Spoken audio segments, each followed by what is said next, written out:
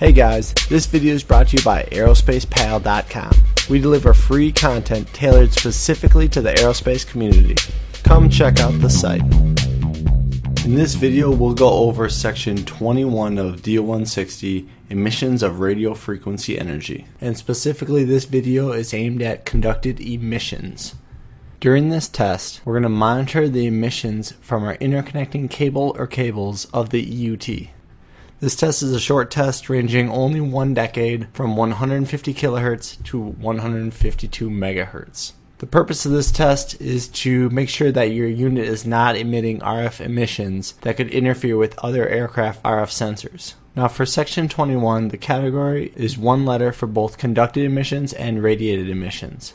Going from least stringent to most stringent, the categories are B products that are not near RF antennas or other sensitive equipment. L. Equipment that is far from apertures of aircraft, like windows, and far from RF antennas. For example, the electronics bay.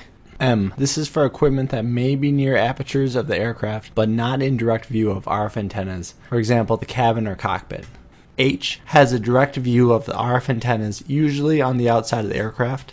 Q. Equipment and associated wiring that may be near VHF or GPS radio receiver antennas or has little aircraft structure shielding. And finally, P. Equipment and associated wiring near HF, VHF, or GPS radio receiver antennas. All categories except P have different levels for measuring emissions on the power lines versus the interface bundle, so that's something to be aware of. L, M, and H are tested to the same exact level for CE, but they have different levels for RE. Now for this test your equipment needs to be calibrated, but there's no specific calibration of the entire test setup. There are a few things that matter when setting up for conducted emissions.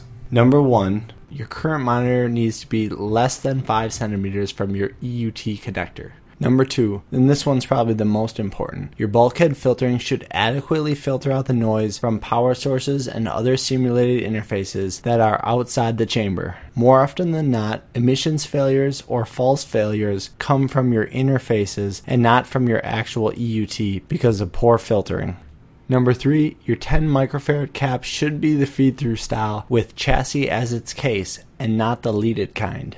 Number four, your LISN should be the 5 microhenry style, not the MIL style, which is 50 microhenries, and they should be properly current rated based on your EUT current draw.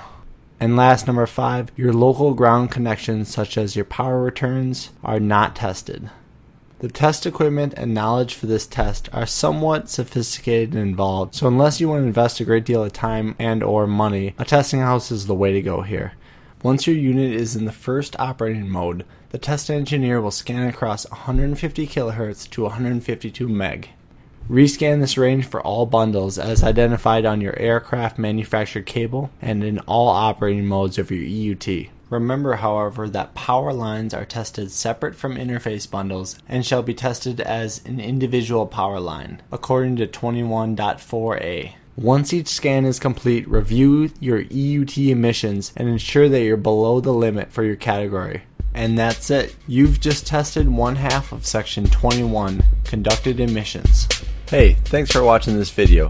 If you found this informative, interesting, or just better than reading a 500 page standard, stop back at aerospacepal.com and tell other engineers about this free resource.